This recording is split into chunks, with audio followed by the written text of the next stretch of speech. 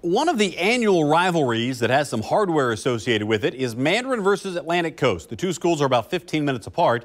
And when AC was open, a lot of kids from the Mandarin district became Stingrays. And every year since, they've played for the Principals Cup. AC playing at home, looking for their first win of the season. To Stingray Bay we go. And there's the Principals Cup on the line tonight. And the Mustangs running away with this one. Tiant Weish takes the handoff, turns on the Jets, and he's gone. Touchdown. Mandarin leads it 17 to nothing. Third quarter, Mustangs back on offense. And Tremel Jones, one to watch here.